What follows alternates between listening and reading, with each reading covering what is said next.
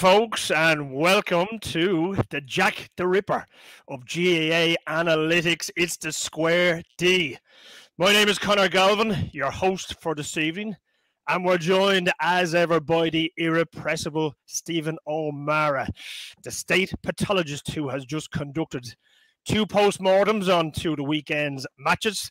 Stephen, how's she cutting tonight? Not so bad. Flat out as ever with a few games on the weekend. Not helpful even my laptop and Carlow on Saturday night. But uh, we got there at the end anyway, just about as ever. That's half the battle. It's been an action-packed weekend in sport, not only across the Gaelic football, hurling calendar. We'd obviously the Six Nations rugby, we'd soccer, we'd the, the, the golf and Shane Lowry and the Honda. Um, I think it's nearly a weekend of analytics everywhere you look. You had the rugby talking about 27 missed tackles against the Italians, I think stats and statisticians have never been more in demand, have they? Possibly not. No, and as, as we see, we like to think, or certainly I like to think that we can break things down. As I say, hence the name of the show. If you, you might think you're looking at a square, but maybe it's a D or vice versa, and maybe try and get at a few of the, the angles in between. Let's get down to business. First up, the we're going north out to Letterkenny. Um, Donegal, and Galway. Yeah, so look, we'll start with we'll start with just looking at a general summary. I suppose if to sum this game up in about 90 seconds, you know, you're ultimately saying that Donegal should have won the game. Uh, if we look here, and apologies, my tweet last night, there was a glitch on my software. Uh, the location that Rob Finnerty punched over Galway's ninth point uh, just the point register, the expected score didn't. So Galway didn't get uh, 9.8. It was 10.8. It was a 98% point. So ultimately, all things being equal, expected score taken into, you know, the uh, amount of shots, the distance of the shots, the difficulty of the shots, the pressure, all things being equal, Donegal should have expected to have got 14.9 points and Galway 10.8. Uh, so ultimately, you know, it was it was shot away by Donegal. Um, and you'll see there the expected score. I suppose if we look here, we'll see just get, get a visual of that shot map. You'll see Donegal, a lot of reds in there. Um, it's a 40% conversion rate compared to Galway, uh, where it's mostly greens. And that ultimately was the summary story of the game. As I say, now, as I pointed out in the game last week, we look at these Donegal misses, you know, are they under high pressure? They, they can be, that shot map can be deceiving. But ultimately, when we go back to our, our general summary, we'll see that the expected score per shot for Donegal was 60%. So, uh, Stephen, just on the expected 40. score. Yes. Just on the expected score, right, for, for those of it at home. So, anyone just joined us first, the expected score is essentially where a player shoots from and the probability that that ball is going to go over the bar, all things exactly. considered. So, we're not taking in, let's say, wind for example, if it's blowing a hurricane and he's shooting from the 30 yards out, the odds are he's not going to get it. This is based off what calm conditions. He's on his weaker foot, strong foot. Yeah, really. all point. these factors come in. Uh, a good amount of them are. The system I was using last year would have taken all those factors into consideration. The one which is now more operable doesn't take wind into account, which is just because I haven't got to programming it yet, but it will. So that's a very fair a valid point. The wind isn't isn't factored into this, and it should be. It's about locations and difficulty. And again, it doesn't factor in if I'm a right footer and I kick a left footed shot. It would factor in if I'm a left footer and I kick a, a shot that should have been, a, you know, it's on the, the, the bad side for a left footer. Uh, so it's all those things um, taken into account to give you an expected. So you might say the first shot was a 70%, or the second was a 60%, or the next was a 97%, or he's right in front of goal, or you know, moderate pressure on him. So ultimately, Donegal averaged 60% shot expectancy per shot, but only actually shot 40% of them. Whereas Galway, um, sorry, with the goal included, that plays with the figures a little bit. It's a 300%er. But yeah, Gal, Donegal should have expected to have come out with six points from every 10. They got four, whereas Galway shot slightly above expected score, uh, which which dickies it up a little bit. And the expected score, this is Division One we're talking here. Now, I was at a junior 10 hurling match there in Fairview Park yesterday. The mighty Naomh Barróg were playing against St. Joey's O'Connell boys. The expected score with those fellas, um, I'd imagine, would be an awful lot different if you run the stats on them, or would you have a nervous breakdown? I wouldn't say that to the Joey's boys face to face. Personally, no. certainly, certainly not on a hurling field. No, absolutely no. There would be a completely different metric, and again, within my software, there would be a couple of layers of ability going from intercounty Division One down the way to club senior. And even though I don't always admit it, I uh, maybe one or two counties are set at a slightly higher barometer than others for club football. The Kilkenny footballers, for I've example. No data. I've no data. I wouldn't like to. Uh, I wouldn't like to prejudice the inquiry without data. Lovely. Okay, so clipping on, right?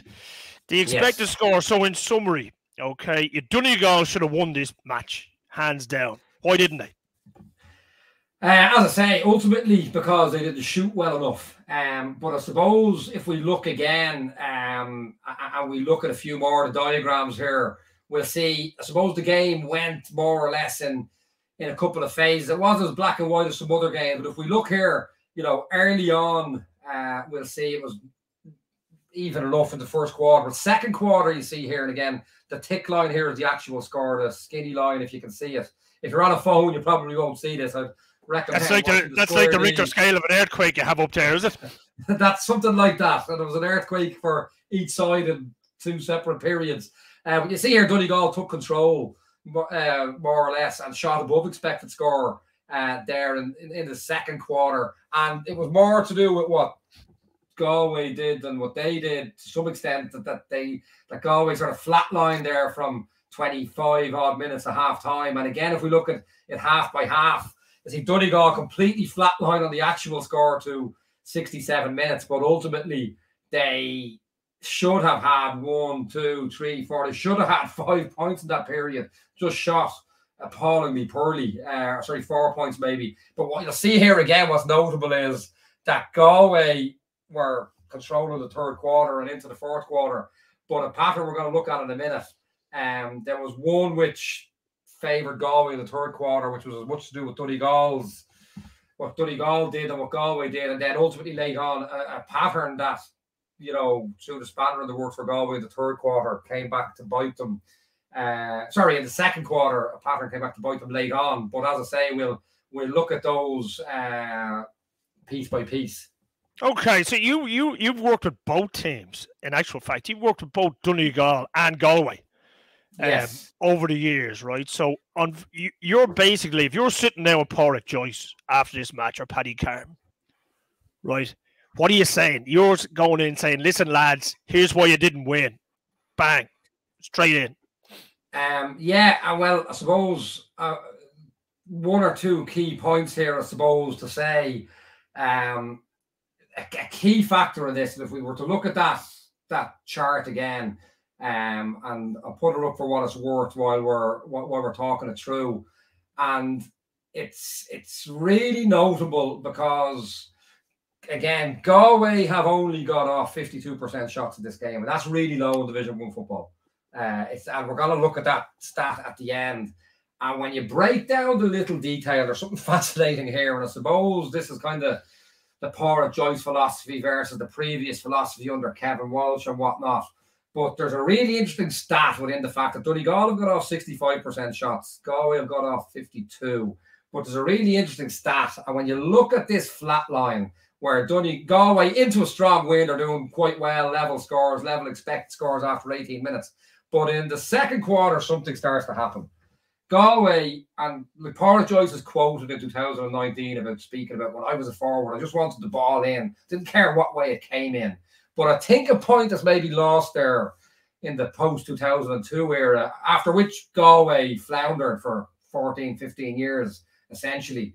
Um, it was always man and man because there were no sweepers back then. And it's a horse of different colour now. And there's some really key stats here that Galway tried to kick seven balls into a Donegal defence that was set with a sweeper, and every one of them got turned over. And in the same scenario where Donegal were set and they kept the ball through the hands, now when I say through the hands, there might be a safe lateral kick pass, but didn't try a killer kick pass. There were 14 of them, and they scored from seven, shot wide from five, and missed got turned over on two, and even the two, one I felt was a blatant free late in the game, and another one they could have popped over the bar and went for a goal. Now, what's fascinating from this point of view is if you were to take the metric of, well, if they just didn't kick the ball into the plus one sweeper Donegal set defense and they'd kept it through the hands every time, that's a 50% ratio on six or seven plays. There's one actually is a hand pass rather than a kick pass, but it's a try to go over the sweepers. We say six for easy maths. You can expect, based on the pattern we've seen, they'd have scored three of those six points. Based on the 14 where they had that behavior. And if they were to do that, they'd be three points better off. And if that's an average, and I strongly suspect it is, and I have a lot of data on this from 18 and 19, and suffice to say, I came up with a similar figure to this in my first game of Galway in 18. They'd kicked 15 balls into a thrown in on top of a thrown set defence on a horrible day in June, a January windy, rainy day in June. 15 balls, 12 got turned over, three landed, one of those got turned over, one score, one wide. So you've got one out of 15, and then the seven where they kept through the hands, they scored four. And that was recommendation I gave, and probably, I suppose, did come into the practice of how the game was played by Galway. It might not have been sexy, might not have been exciting, but they went from relegation favourites uh, to get into the league final unbeaten. And here I'm looking at what could have been three extra points based on patterns. And if you look at that, drew at Mayo, add on three points there, you've won. Uh, lost the next game by a point, add on three points there, you've won. Won the last game anyway, add on three here, you've won. And maybe and look, that that's very black and white. Maybe there's more grey in the middle, but as a broad parameter, ultimately in that second quarter, they kicked four of those away. So um, we're looking at two um, things, right? The quality of the ball going in, okay, yeah, is one. Number two, then, is obviously right the skill level of the recipient. Yeah, now, Galway are missing a couple of marquee forwards at the moment, right? We all know that, right? Yeah. So you're sitting there, Pádraig. Joe, you say Pádraig ball to hands wins the game, right? Stop kicking the ball in. Or is there an argument when Comer and the lads get back all of a sudden, kick it in, the lads will do damage? How much do you read into this in terms of the championship going forward? Firstly, I think I'd rather tell the O'Connell's boys, hurlers, uh, that their expected score might be lower than everybody else in the country. That'd be the first thing I'd say. um, and if you know double hurling like you and I know double hurling, that's a that's a statement. Um, look, that's what I would say. Um, I think it may go against a philosophy, uh, but the mathematics are there to say that ultimately go you're kicking ball away. I it looked like this is the All Ireland final. There are players there are teams who kick ball into blanket defences or plus one defences and make profit. Kerry did it in the All Ireland final last year. You've got to bear in mind it's exceptional Kerry footballers, you know, like Sean O'Shea kicking ball into David Clifford. You know, these aren't your everyday Gaelic footballers. Uh, now there is the point, yeah, but I think people again don't understand. I don't want to be overstating it, and it's a point that Mark Curran did an exceptional job on him. But you've you've still got Ian Burke uh, and Matthew Tierney on that team you know, look, you go back, say, when I was involved, and the three marquee forwards, and that were left up the whole time. And uh, this is a point we're going to come on to where Comer, Shane Walsh, Damien Comer, Shane Walsh, and Ian Burke. What's on the field there, it's not, you know, Matthew Tierney's in that league now.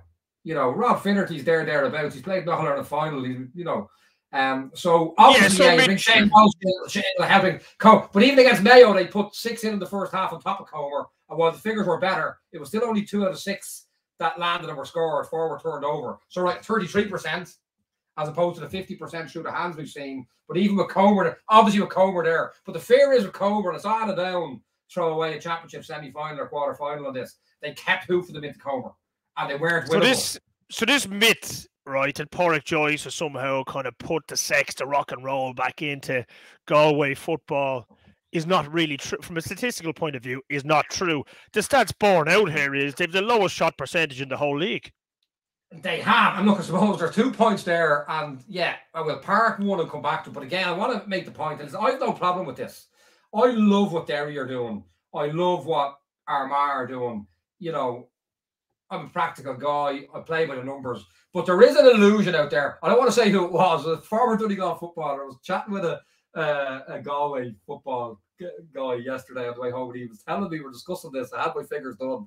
And he said, I don't want to quote, say who it was in case I misquote him, but he said that this guy described the Pádraig Joyce era as being like having a new child. So before they're born, yeah, they're not going to eat any sugar. They're not going to be watching more than this amount of TV a day and la la la la. It's a beautiful romantic idea.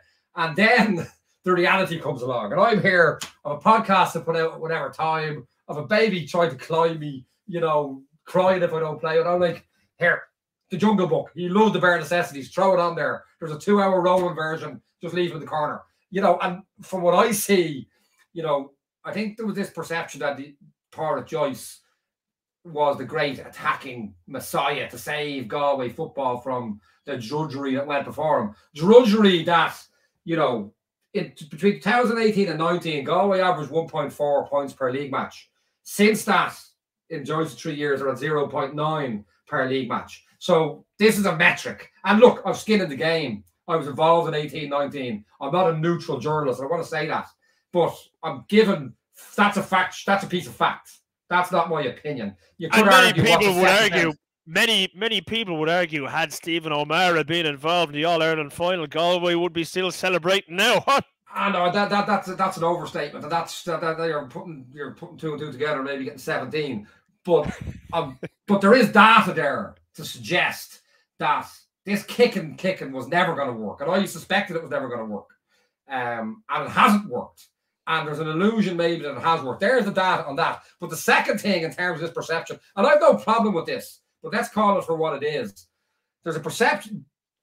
Joyce came in and Galway played man on man and had two brutal years, got relegated out of Division One, um, having been in the final the pre two years previously, um, and whatnot. They played man on man. Now there's a perception that this is still the attacking messiah. This is the throw in we're looking at here speed on the screen, so I didn't need to leave it on that long. Straight away, the entire Galway half forward line. What are they doing? They're getting behind the ball. They're not following Donegal man back. They're getting behind the ball. This is a policy decision. So that's 12 going by. You can see here, right half forward. There's not even a Donegal man following them. So this is a policy. Let's get behind the ball. Now there's 12. Here comes number 13. Okay, can't see. I, th- I think it's Patrick Kelly. Could be Davern. I think it's Patrick Kelly. That's 13. Now, just in case that's not enough, Here's the most creative footballer in Galway. I'd probably have him as first choice forward in any team. Ian Burke. Now it's 14 behind the ball, off the throw in as a policy. And again, the perception of the Kevin Walsh here was defensive, defensive. That era systematically got 11 back and left Comer, Walsh, and Burke up top, like Lionel Messi for Argentina. Galway had three of them something which Dave, Damien Duff says can't work for Paris Saint Germain. You can have one but not three. So this notion that this is this beautiful, expansive game, you know, it, it's actually reverting closer and closer, but a more defensive model than what was there at the start. And it's not so just this that, game here. So on that, right? Just can I just find this? I mean, this this is 35 seconds into the game. There's one guy out of, out of the screen here in the corner, the left corner back. That's 13 behind the ball. And just again to this is the All Ireland final last year against Kerry. Here's a kick out. Look at the numbers. Galway can go man on man here. They've actually got 65 here. You can see Patrick Kelly on the far side trying to get back, trying to get back into the screen. Um, so you you you, you move it along and you see um, Murphy's Law now. I'm gonna have to get that back up. Um, but yeah, you look along, you look along the line here um, they could go man on man on this kick out, but they choose not to. Uh, and you'll see if I can bear with me for five seconds here, if I can present this for you. Um, again, this is a short kick out. You're in a position to go man on man. You could. Do you choose to? Do you push forward here on the Kerry man? No. Everyone's got their arses to the ball here. Now we've up the field. What have we got? Double sweeper. Now, as it happens, I'd be saying to Kerry, don't kick that in, double sweep or bad stats. Kerry kicked it in, Clifford caught it, took a mark. Points. Here we are in the 27 or 28 minute. Now, what's key here, if you look at this, Kerry haven't dragged Galway men into this. there's a corner, a right corner forward, left corner back of the picture. Um, but bear them in mind, there's 14 Galway players behind the ball, and there's only nine Kerry men there. So we've got the number 14, which is Shane Walsh, and 13, which is Rob Finnerty. They're coming in to get more men behind the ball. Now, again, on that question, if you want to do that, fine. But this notion that this is an ultra offensive game, um, it's it doesn't it doesn't hold water. So basically, as an overall view, I mean, would it be fair to say we're not going to see a kicking team winning the All Ireland anytime soon, team. unless there's a substantial rule change? Uh, kick a team won the All Ireland last year, but again, they're a special breed. They're Kerry. You know, a kick a team won three All Ireland clubs in a row, but they're a special breed. They're Corofin. And even when the likes of Mike Farragher and Gary Sice were asked, why don't Galway play the same style as Corofin? They, you know, they're saying it's, it's different. It's club and it's county and it's a different kettle. If the Corofin were, you know, Corofin possibly could have held their own in the Division One National League and they're playing with their club teams. They're brilliant. You know, and as I saying, I suppose to go on to the Donegal point, maybe, you know, we look at how Donegal, you know, had an awful beating against Tyrone, 18 or 16 8 and in the first quarter, Donegal tried to kick a lot of ball. And Donegal, you know, as, as one of the senior players in Donegal said to me at one point, you know, most pitches in Donegal are near the sea or on high ground. It's windy. We play carrying football in Donegal. That's what we're good at. And I couldn't argue with that. When you look at that Tyrone game, Donegal start were kicking a lot of balls for the middle third. When there were extra Tyrone players around, A, they were getting turned over, and B, there was more athletic Tyrone middle third catching with the counter. So you're asking me if I go in as an analyst with Donegal, am I saying kick more of those or kick less of those? Then kick less of those. And they did on Sunday against Galway. They kicked a lot less of them. They played Donegal through the hands football and it worked, notwithstanding under par shooting by guys who generally shoot par or over par. It worked for them. If I were with Kerry, then it's a different conversation. We have a lot of eager Mayo men hanging on the line here, dying to see their annihilation. Have we any final comments on Galway Donegal before we move on? No, I mean ultimately that's you know as I say, Donegal. I, I, I thought they were back. Look, the defending still wasn't great, and their figures are probably dressed up by the fact that Galway did kick those six into a, a, a zonal defence with a plus one. Uh, still some issues, but I suppose just a table that I have here just to go on. And this is noteworthy. And there's a big, big game in Salthill with Monaghan coming up. And Monaghan have been an Achilles for, for Galway. But if we look, and obviously I don't look at the defensive figures, that's 50% of the equation. But just a quick one. Um, if we look at the shots, so this is a, uh, I haven't analysed uh, the games we're not doing here yet. So it's a three game average on those four teams, four game average. But just a, an interim shots, phases of possession through the shots so far in the National League this year. Uh, top of the league, and not coincidentally, Roscommon of 65, they're joint top. Armagh 64, uh, Mayo 62. So your top two in the league are in there, your top three. So Roscommon 65, Mayo's uh, Armagh 64. Uh, chalking these off as I go. Mayo 62, uh, Tyrone 62. Um, maybe defending has been an issue there, as we're going to see. Uh, Kerry, I'm going to say, you know, half a Kerry reserve team. 56. Sorry, I've missed Monaghan 60. Kerry 56. Donegal 55. Galway 49. Now, that's a concern. That's a concern. Uh, and again, maybe, just maybe, there was a bit of method in the madness of the less sexy football that, as I say, got to an ELO ranking of two in 2018. Um, maybe there was something in it. Okay. Right. Let's go on now to our great friends down west. Um, Park, the mighty Mayo against Tyrone. Um, pretty extraordinary run they're on with McStay. They're certainly getting the uh, the clans of Mayo fans behind them again. It did 12 different scorers uh, the other night, which is pretty spectacular going by anyone's reckoning. Um, hiding for Tyrone. Mayo's tails are up. Well, what do you see? Um, I see a Mayo team, uh, and I suppose, well, without know, I'm going to go off on a, on a rubbish there about maybe a, a, generation where had the misfortune of of coming up against the, the best team in the history of the game. Um, but I like everything I've seen with Mayo, and you know, Dublin aren't what they were. Um, I still don't think the Kerry team that won the All Ireland were as good or as well set as the 2019 Kerry team, personally. Um, but they won All Ireland. You know, obviously that's what it's all about. But like Mayo's figures here are astronomical. Let's have a quick look here. You know, they've got shots off, and normally the teams getting off 64% phases with shots are, as I say, I think that's what Donegal had, and it's through the hands and it's safe. Mayo are playing an off the shoulder, predominantly kicking game, and they've still got 64% phases with shots. That's outrageous. Uh, and if you look here, their expected score per 10 phases is 5.3 also outrageous. And they've actually scored because they scored four out of four, maybe four out of five goal shots.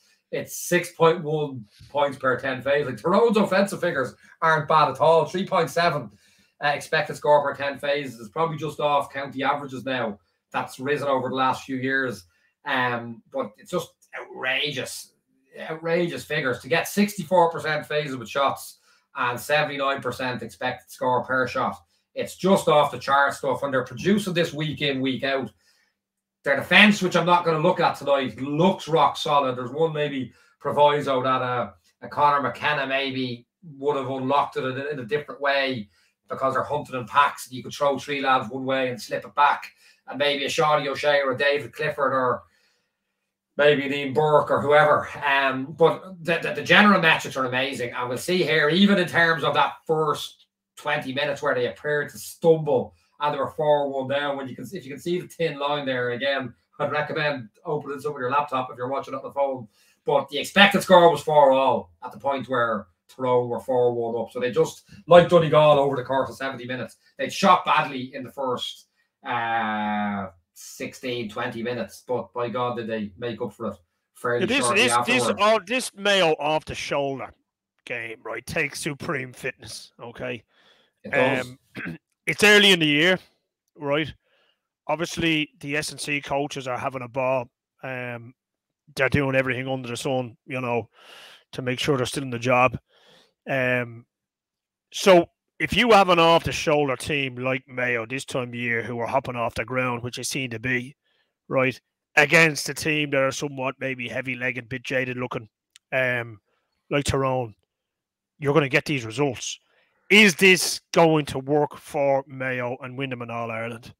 Um, again, look, re- re- really valid and fair point. Um, you know, they're definitely at, athletically at a point that probably now. Listen, I think they're one of the standout athletic teams as it is. I think why they could stand with Dublin during Dublin's golden years and be there thereabouts, albeit never got over the line. Um, sorry, not not another final anyway. Um, was that they were athletically as good as Dublin or fairly close anyway. Uh, so they have that again. Uh, obviously, yeah, early in the league, the, teams who are back training earlier that are more athletic absolutely are at an advantage. And I mean, that Kerry result, like when Kerry brought it was still half a Kerry reserve team in the second half. And just O'Shea and Clifford coming on, Seanie O'Shea and David Clifford coming on. Kerry actually won the second half. So look, no doubt about it. These are all factors. They're fitter. I wouldn't say, and we'll look at it here, uh, I suppose what, what I do here is I don't like terms like intensity and heavy legged. I don't think Tyrone are heavy legged. Like the modern S and C coaches are too good. Now, maybe Mayo are closer to a peak than Tyrone are by design. But I know from being in these meetings and intercounty dealing with S and C coaches, so strength and conditioning coaches, they're not getting it wrong, or I don't think they are anyway. Uh, they don't appear to be.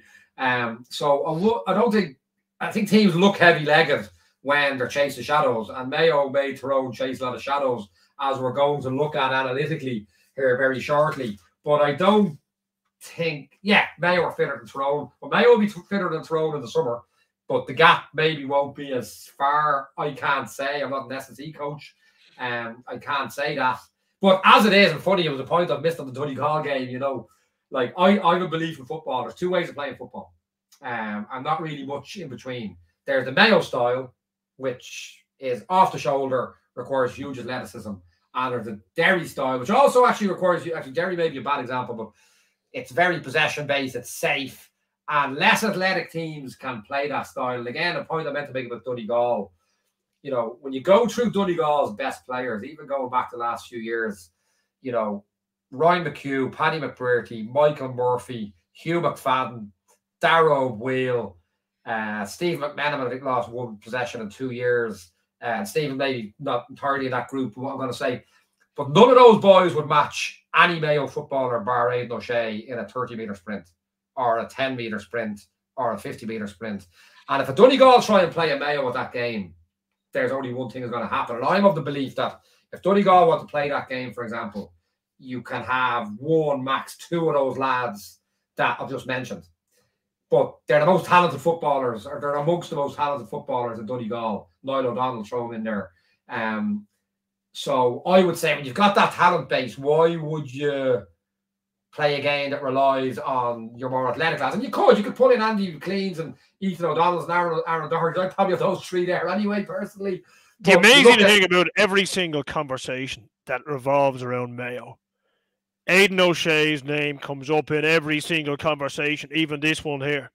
Right. Well, it deserves to because he's an amazing footballer, but he is an outlier in that he's the one Mayo player on the field who will lose by a long way a 30 meter sprint or a 1k run to every other Mayo player.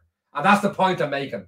And Mayo play that game. I don't think, and I'll probably make enemies in all quarters here, I don't think Mayo are technically as good of footballers as Donegal, Galway, Dublin, Kerry, Tyrone. And I might be never welcome West again for saying that, but again, it's a compliment because they're athletically brilliant. They have a style that's embedded in Mayo culture. They've a savage management team that are coaching that game plan. And I think there's one or two things we're going to see they've tightened up on and improved on.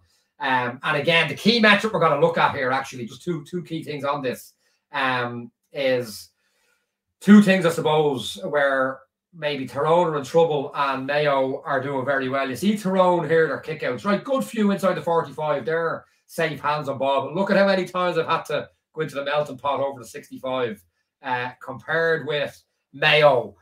Like even those ones to the left of the 65, they were uncontested, more or less. So Mayo were getting their hands on the ball on the kickouts. Now, the key metric in this, and this is really, really interesting is that, as I always said, Mayo were the one outlier in Division One that you could give them the short kick out, and over 10 kickouts, if they score two, they probably could see two on the turnover, and they wouldn't make a profit off their short kickouts. Their figures at the moment, now Tyrone have a problem because they were gambling on long kickouts the year they won the All Ireland, and then last year again. They've gone back to trying to get hands on ball if they can. But the problem here, I'm looking at, at Tyrone's figures in the league to date, 37 short kickouts they've won. They've scored 111, but they've conceded 1 6 on the turnover. It's a 12% of a point profit or 1.2 points profit per 10 short kickouts. And this is the goal hands on ball. You want at least two out of 10, maybe three out of 10 profit. Three or higher is outlandish. Mayo, from 43 short kickouts they've won, have scored 315, conceded seven, They've got four four points in ten profit after short kick out. And that breaking down blanket defenses isn't even their forte.